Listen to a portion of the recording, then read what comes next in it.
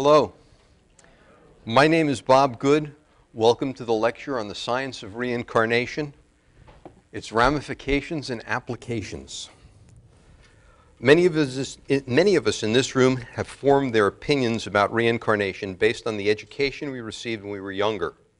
We don't include in that personal information base the science that has occurred in the last 30, 20, or even the last 10 years.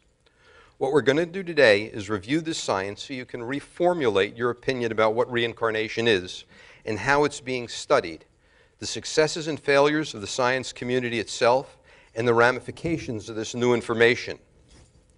So today we are formally asking the science departments at Princeton, Stanford, the University of Virginia, the University of Miami, the University of Nevada, Las Vegas, and the University of Toronto to accredit two new three credit undergraduate courses the Science of Reincarnation and the Applications of the Science of Reincarnation 1.0. You see, the science of reincarnation is already being done at these universities, and what they have discovered should be aggregated and taught under one common curriculum so students from each university can see the entire set of discoveries and how they interconnect. So we're going to start by looking at some of the observations scientists are seeing today. And as we go, be aware, I'm going to tell you what the scientists are seeing and what I'm seeing. And together, I want to see if you see the same things that I see. The first place we're going to go is the University of Virginia. They've studied children who claim prior lives. Typically, what happens is a child will say, You're not my parents. My parents lived 200 years to the north. You're Tom and Alice, and I want to go home. And after listening to your two year old or three year old or four year old go through this, you finally get disgusted and you say, Fine, let's go. One case of an Indian child, they drove 300 miles to the north. They got to the area she said she was from. She said, Turn left, turn right, there's my house. She walked up to the door, and a 42 year old man answered, and she said, I'm your wife. And he said, My wife died four years ago in, in an accident, and I, I'm, I'm married. She said, Who did you marry? And the man told her the name of the woman, and the child's response was, That bitch. Two hours later, the man said, That's my wife, or that was my wife. Now, these children who claim prior lives, they can go between gender. You can be a man in one life and a woman in another. You can go trans race, trans religion, but what we're tracking with this data group is two lives. They also have birthmarks.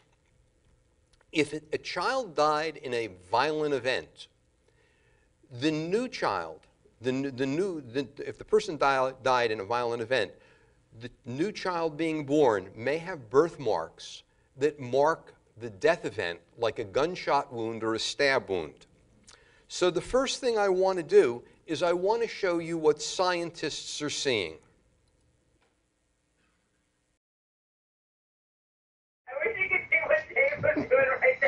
11-year-old James Leininger looks and acts like most boys his age, but beneath his playful spirit is a very deep soul. And I said, you know, I'm really glad you're my son, and I'm uh, uh, just really fun to have you as my son. And he says, well, he said, I know, that's why I picked you. When we first met Bruce, Andrea, and James in 2005, his passion for World War II fighter planes was obvious. I can beat the Japanese easy as pie. The fascination began when he was a toddler. The pilot put him on? James seemed intimately familiar with the aircrafts. He started doing these little drawings of airplanes shooting at other airplanes are being shot down. Bombing ships, you see men parachuting. Here's another one where planes are dropping bombs. This is a carrier. The violent drawings were followed by extreme night terrors. He would just be crying. He'd say, airplane crash on fire, little man can't get out.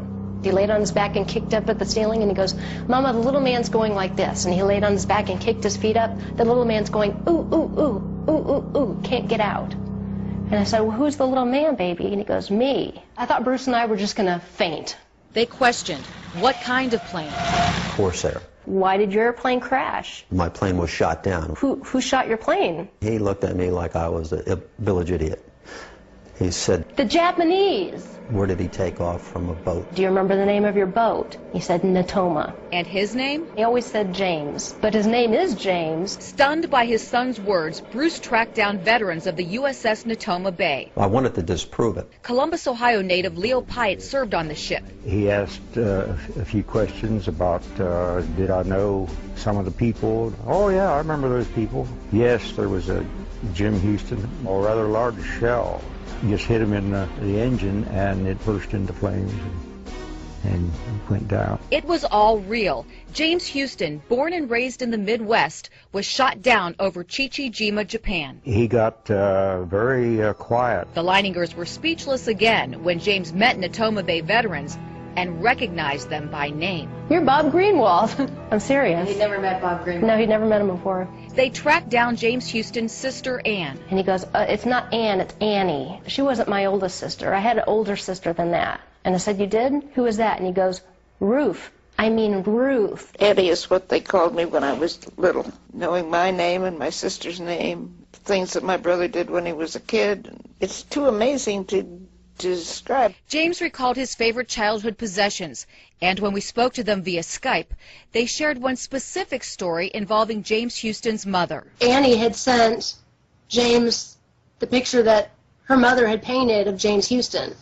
And when James got it, he called Annie to thank her, and he said, Where's the one mom painted of you? And so she went and found it and sent a copy, and later on she told us that no one in the world except her brother and sister knew that there was an identical picture of Annie when she was the same age. Amazing stories like that caught the attention of Japanese filmmakers. All right, what I want you to see in this is the production value. Um, the news media will take an event like this, give you four or five minutes of it, and that's it. The next video is um, going to be Ian Stevenson, who was the initial scientist who began studying children who claim past life regression. It was something that Carl Sagan said should be studied because so much was paranormal as opposed to being studied um, scientifically. This is Ian Stevenson before he passed away. I mentioned these universal features that occur in the cases of all cultures so far studied. The very young age of starting to speak uh, is one of them, and then the age of discontinuing the spontaneous references, usually five to seven years. Some children go on longer, and a few even claim to preserve the apparent memories uh, until adulthood.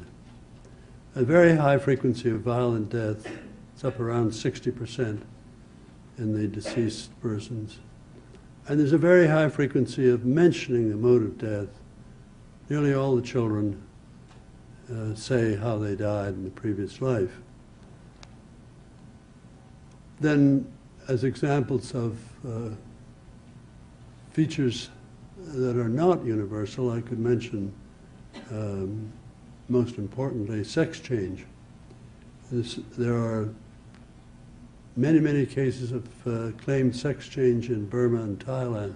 It's even 26% of the Burmese subjects claimed to have been a person of the opposite sex in the previous life. Then you've got the birthmark and birth defect cases where you can get some incredible matches where both an entrance wound and an exit wound that, that matches where the previous person was shot and killed. Um, that can certainly make for a very strong case. Now that's Jim Tucker. Jim took over the um, Department of Psychology at uh, University of Virginia um, after Ian Stevenson's death. One of these events is called an anomaly. An anomaly in science is something that our current science can't explain. What happens is, is that the anomalies begin to compound. We, they begin to become databases.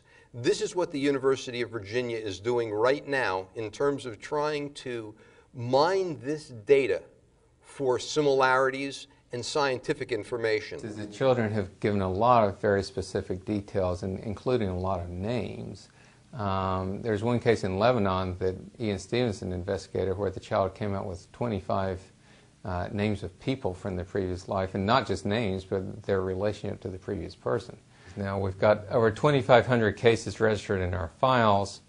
Um, what we then do is take all the information from each case, uh, put it in a uh, coding form where we code for 200 variables for each case, and then put them in a database.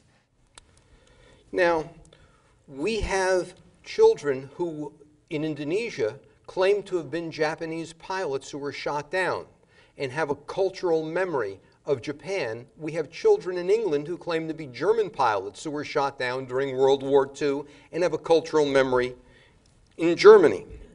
Now, just recently in the University of Virginia magazine, they uh, featured Ian Stevenson's research and they called it the science of reincarnation. And there were comments on the website that I want to read to you. Chris Becky commented, I'm appalled that pseudoscience such as this is occurring at UVA and also appalled that the University of Virginia magazine would stoop so low as to promote this research as a cover story. Allison said Chris Becky completely nailed it. I am appalled and disappointed and embarrassed for the institution which has granted me a doctorate in science. But Peter Newton, on the same thread, said, I'm appalled at those who are appalled. They may not accept the quantum mechanic explanation, but the fact of the cases reported can't be made to go away so easily. Have they got a better explanation? Or would they just prefer that we just shut up and hope it goes away? Shades of Galileo and the Inquisition. Now, we're not just looking at a database of 2,500. They've culled through 10,000 events such as this and selected 2,500 to put in their computers. But there's a much larger database that needs to be addressed, and the researchers today are not doing it, and it's because of the resistance that exists out there to doing the research. Um, at UNLV, Raymond Moody did the first research on near death experiences. There are common themes to all near death experiences. There are rival stories. I, you know, I died, I saw a light, I came up, I met my relatives. But some of the stories go much deeper based on how long a person is clinically dead. Religion doesn't seem to matter. Moody wanted to know how could all these people who don't know each other be telling me the same lives? Again, we have two lives tracked. Now, the example I want to use here is Pam Reynolds. Pam Reynolds went underwent a rare operation to remove a giant basilar artery aneurysm in her brain that threatened her life. The size and location of the aneurysm, however, precluded its safe removal using the standard neurosurgical techniques. She was referred to a doctor who had pioneered a daring surgical, procedure known as a hypothermic cardiac arrest. It allowed Pam's aneurysm to be excised with reasonable chance of success. This operation is nicknamed the standstill by doctors who performed it and required that Pam's body temperature be lowered to 60 degrees, her heartbeat and breathing stopped, her brain waves flattened, and the blood drained from her head. In everyday terms, she was put to death. After removing the aneurysm, she was restored to life. During the standstill, she experienced a near death experience, a near death event. Her remarkably detailed out of body observations during her surgery were later verified to be very accurate. The case is considered one of the strongest cases of evidence in near death event research because of her ability to describe the unique surgical instruments and procedures used and her ability to describe in detail events while she was clinically dead. In short, they brought her out, she recovers, and she describes the instruments the doctors used to operate on her, even though she had never seen them prior to the operation. Now, the question is becoming why do these stories, from children who re- remember past lives to people who have had near death experiences, have the same characteristics? So the database grows.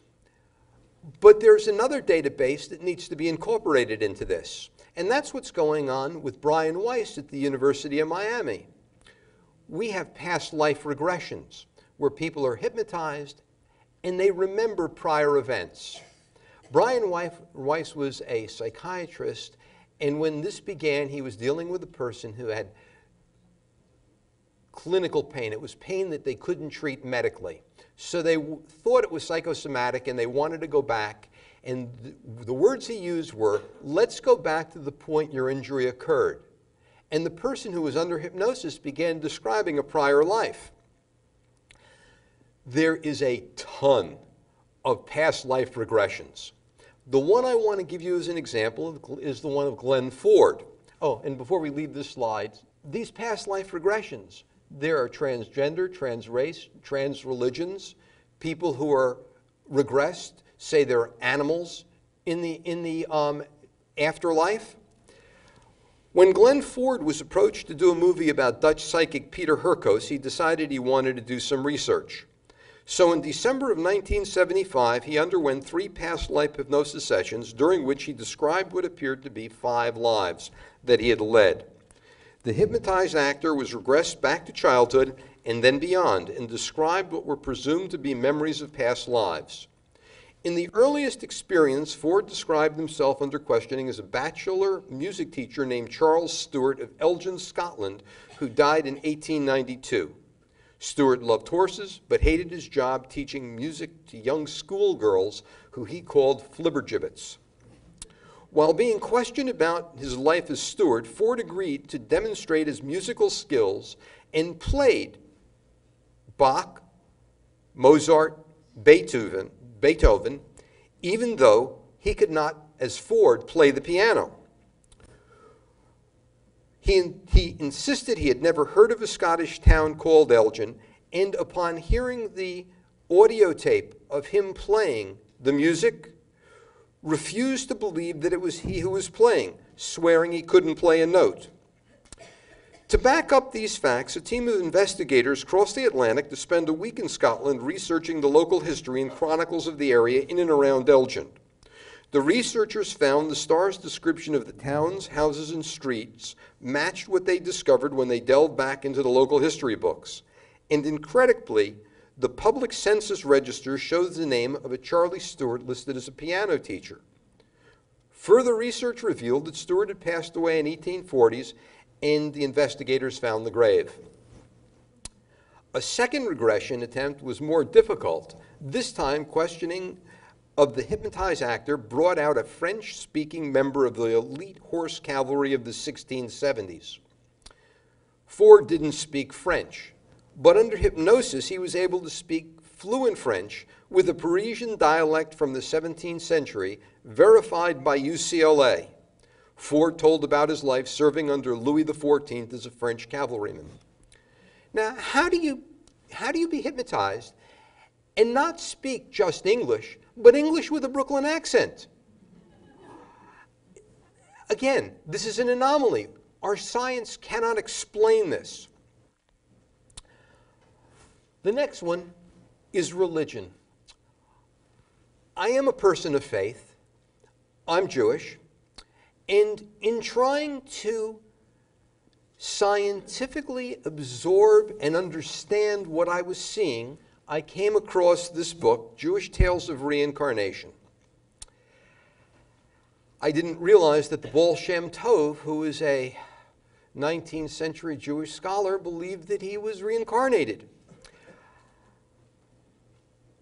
This book, being looked at as stories from the past, actually became a database for me because what was in there lined up with the observations that the scientists are seeing today.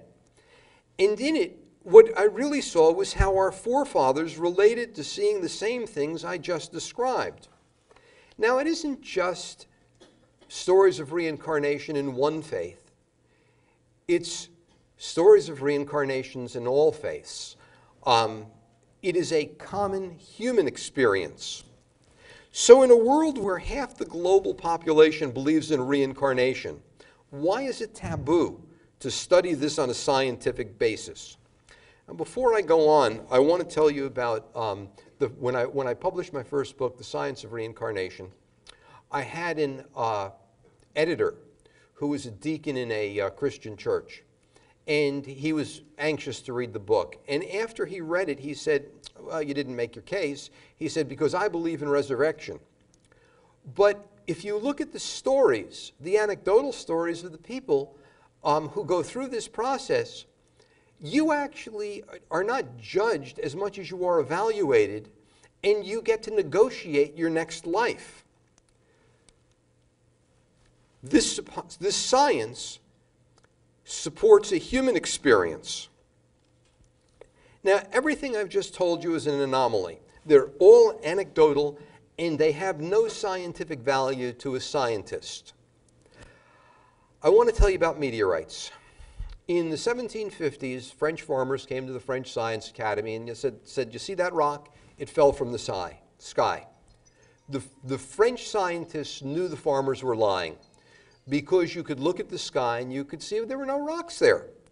It took 100 years for us to understand the science of meteorites. Now, there are ways to address this body of information. No scientist has done any analysis using odds against chance, a metric for assessing our reality. In the next module, experiments, we're going to see why that should be done and it should be done right now. Now, part of it's already being done, but let's look at some of the experiments. University of Toronto. J. Norman Emerson was the professor emeritus in archaeology. And in 1972, there was a bit of a kerfuffle at the archaeologists' meeting. This is what he said it is my conviction I have received knowledge about archaeological artifacts and archaeological sites from a psychic informant who relates this information to me without any evidence of the conscious use of reasoning. By means of the intuitive and parapsychological, a whole new vista of man and his past stands ready to be grasped. Now, Emerson's specialty was Ontario Iroquois Indians. And he said this at the end of his career. He put his reputation, his position in the scientist community, on, in science community, on the line to take this position. Now, the way Emerson would work was he would work with a psychic. In this case, he was working with George McMullen, who was a garage mechanic. Emerson would give McMullen an artifact, like a glaze pipe or a, sh a shard of a bowl. Such artifacts are known as lithics. McMullen would turn them over in his hand and he would tell Emerson about them. It's about the size of my glass case. As Emerson said when he was delivering his paper, McMullen's accuracy ran to about 80%. A typical example of how they would work together would be that Emerson would give McMullen a pipe stem. McMullen would describe roughly when it was made, how it was used, what Indian group used it, and where it was found. But one day, a man by the name of Jack Miller brought him something made of black stone, about two thirds the size of an average man's palm, flat on both sides.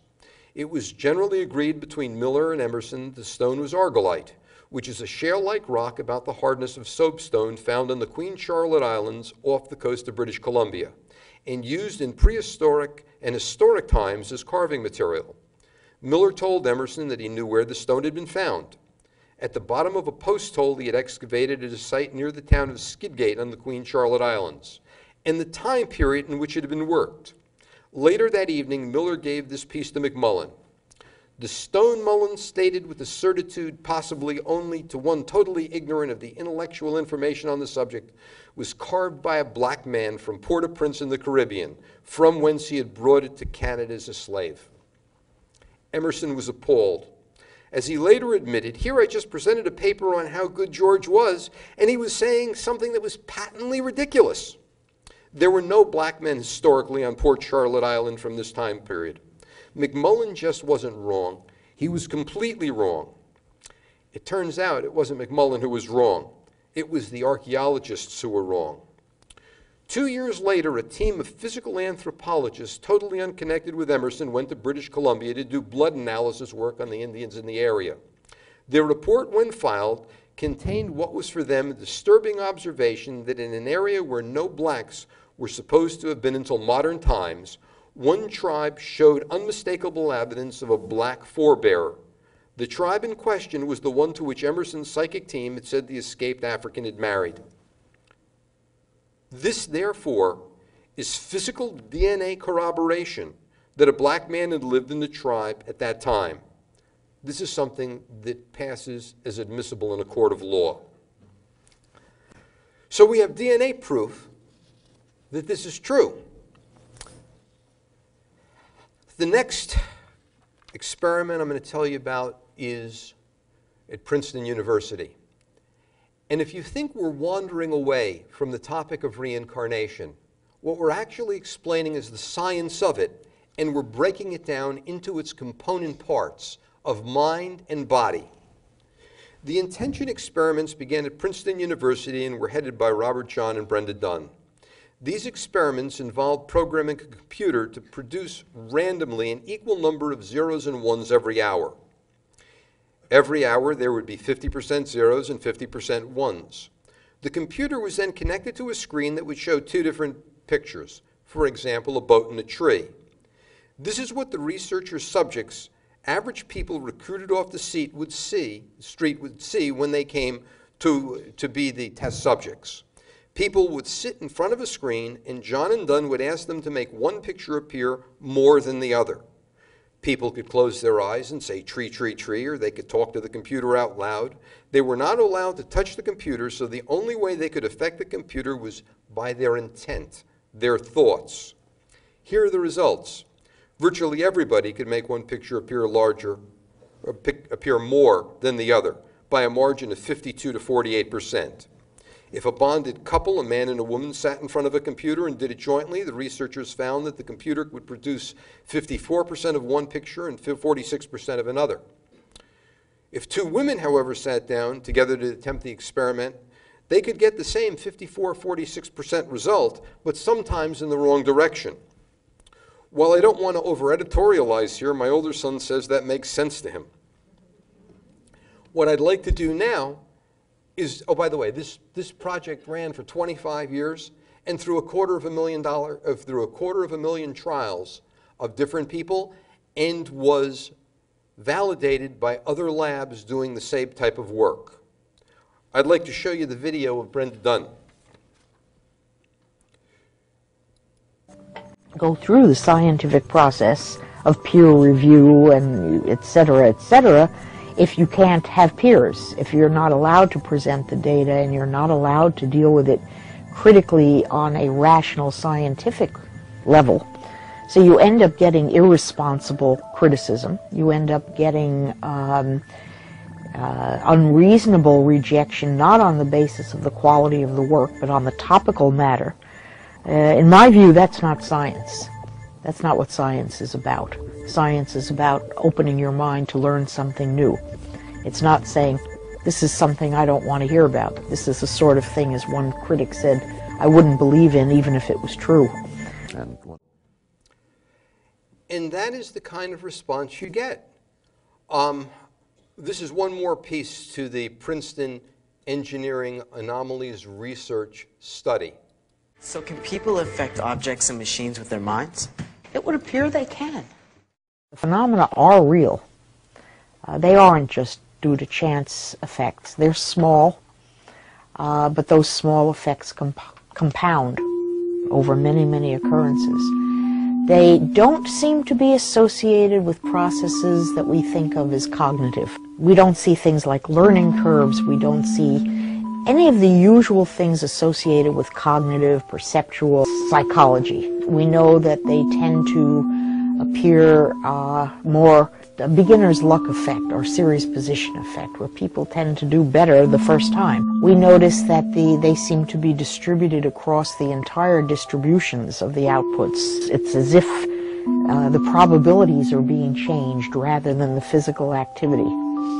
Um, we've seen these cooperator effects where people of opposite sex or and especially people of opposite sex who are bonded couples are resonant with each other tend to get stronger effects than individuals. The field reg data have shown us that we get effects when we're in groups of people in environments where there are a lot of people who are on the same wavelength.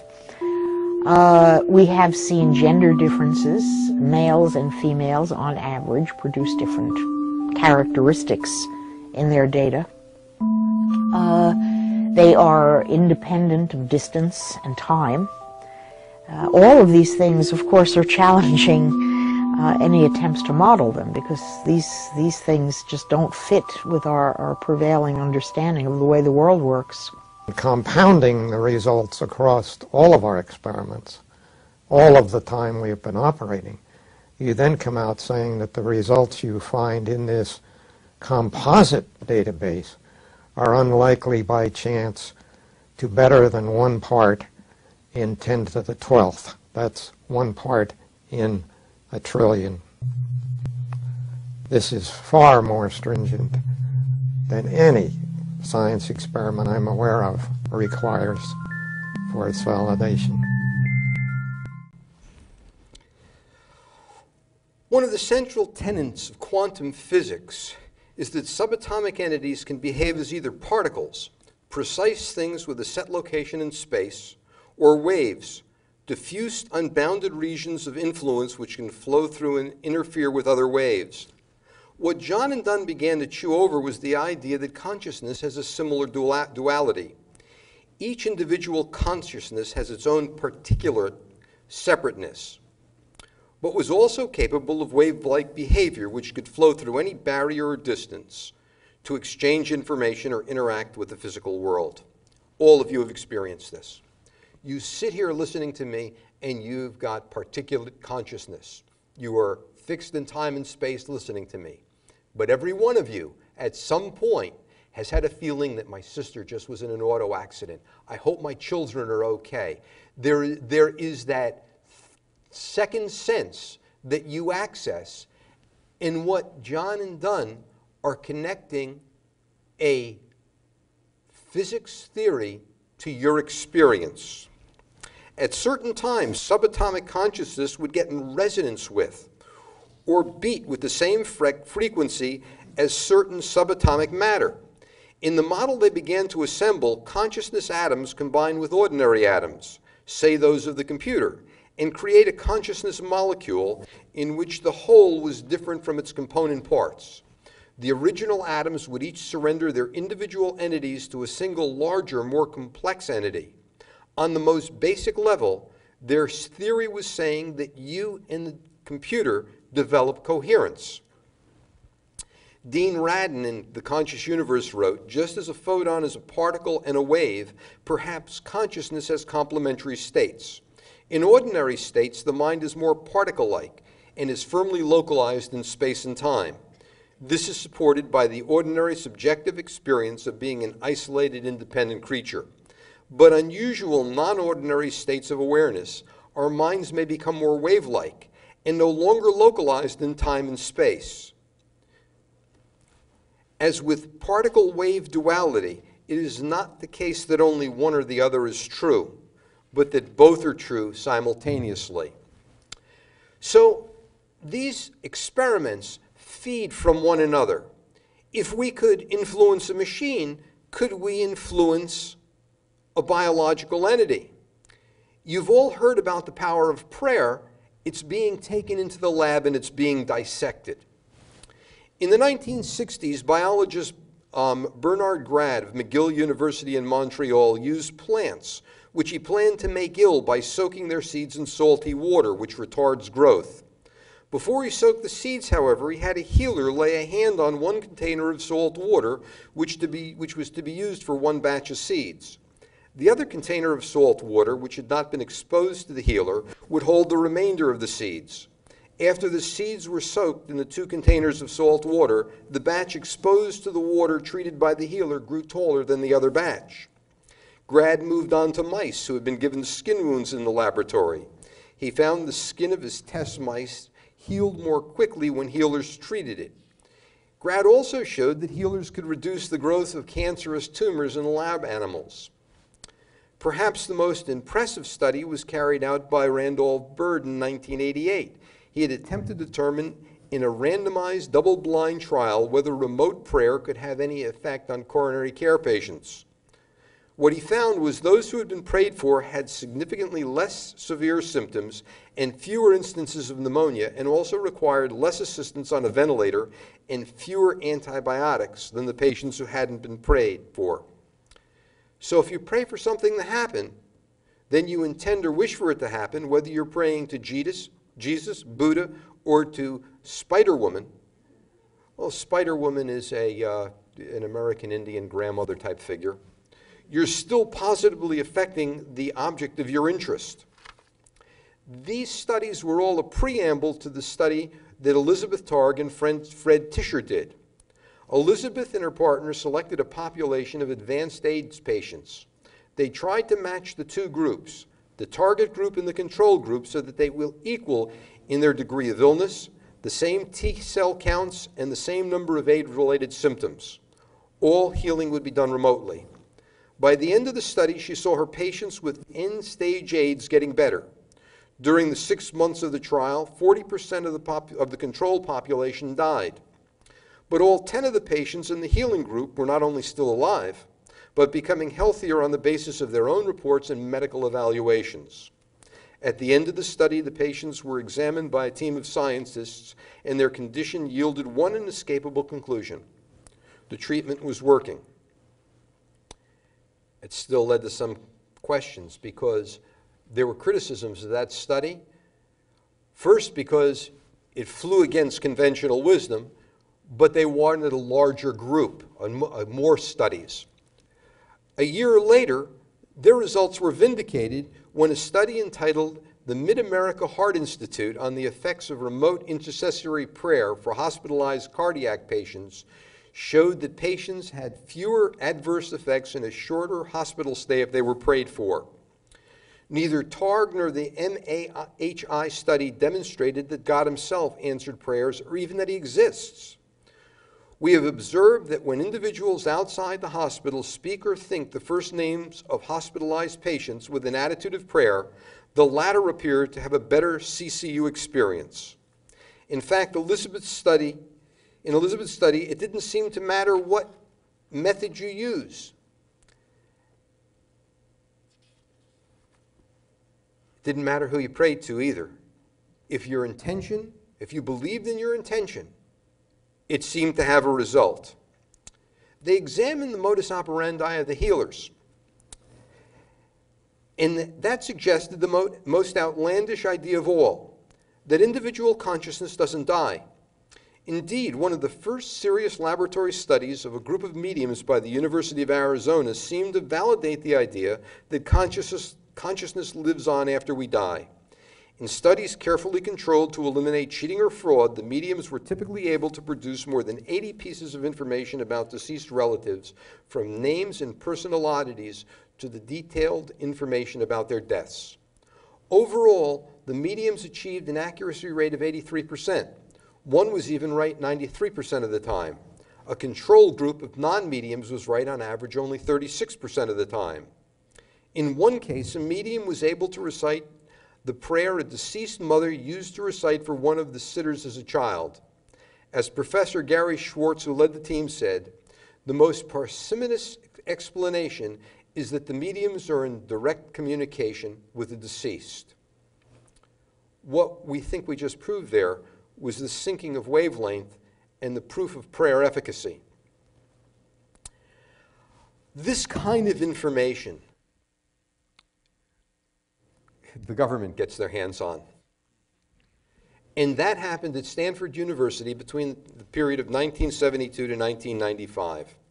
Russell Targ co founded the Stanford Research Institute, and with funding of $25 million from the CIA, DIA, NASA, Navy, Air Force, and Army intelligence, Targ had this to say that he doesn't believe in ESP Instead, he has seen ESP occur in our laboratory on a day to day basis.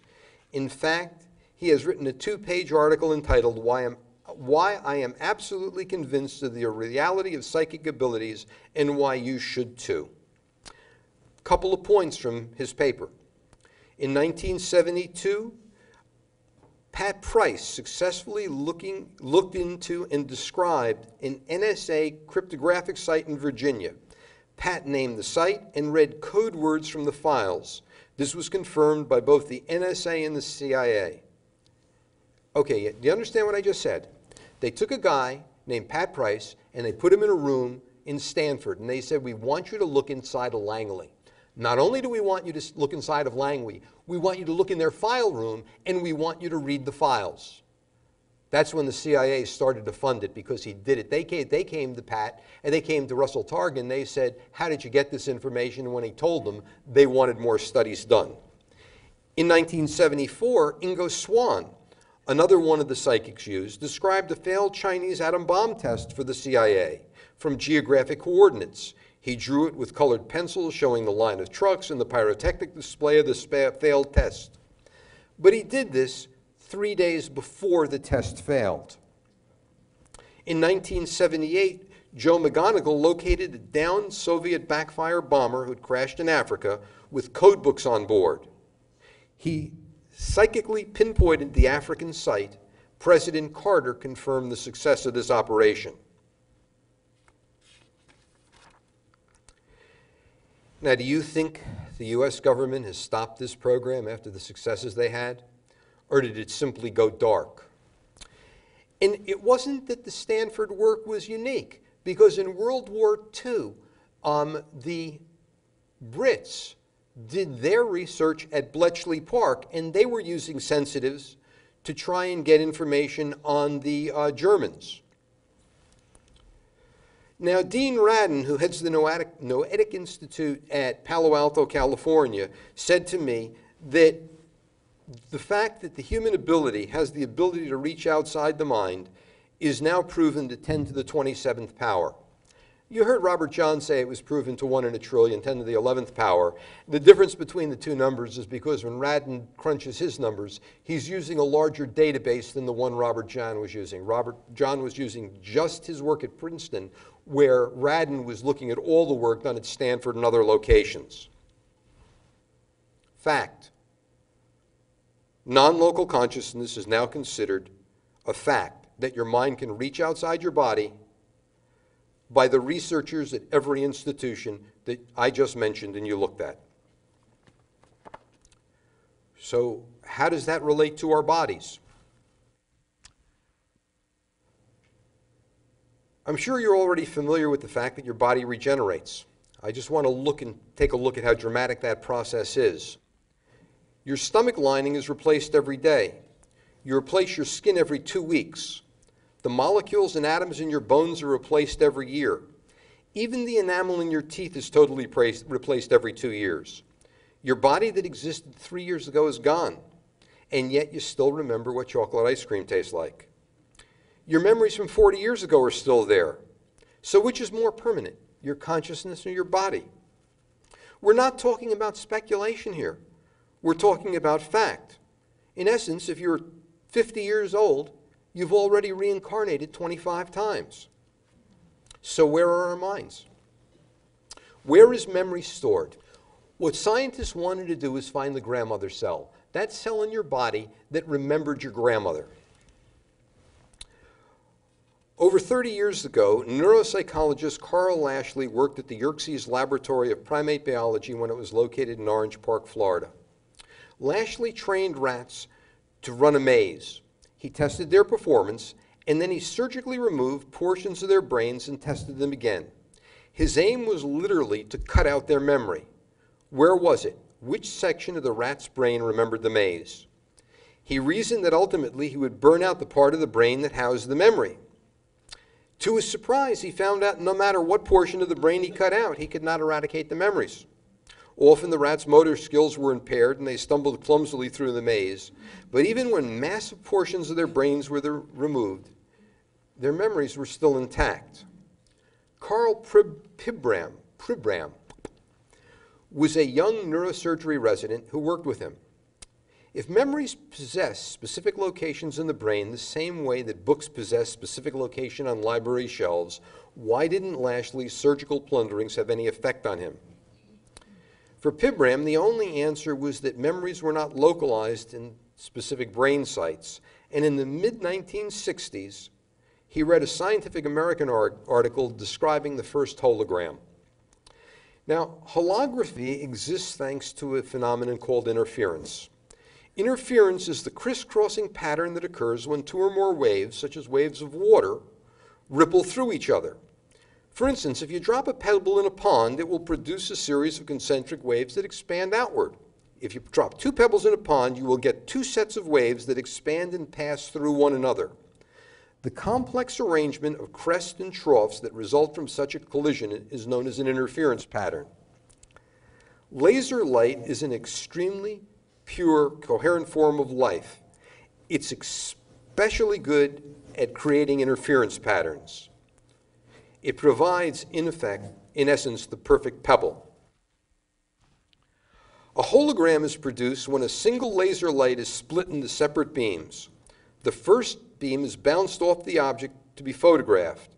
The second beam is allowed to collide with the reflected light of the first. When this happens, they create an interference pattern, which is then recorded on a piece of film. There is, however, another fascinating trait about holographic films. If a piece of holographic film containing an image of an apple is cut in half and then illuminated by a laser, each half is still found to contain the entire image of the apple. You can cut that piece of film down smaller and smaller, and each piece of that film will contain the entire image. If it was possible for every portion of a piece of holographic film to contain the image information necessary to create the whole, then it seemed equally possible for every part of the brain to contain all the information necessary to recall the whole memory. So have we seen this kind of thing on, at a macro level? In 1988, Claire Sylvia received a heart and double lung transplant. Following the operation, she underwent some apparently personality changes. She began to have unusual for her cravings for beer, green peppers, and chicken nuggets. She dreamt about beautiful women and experienced homosexual urges.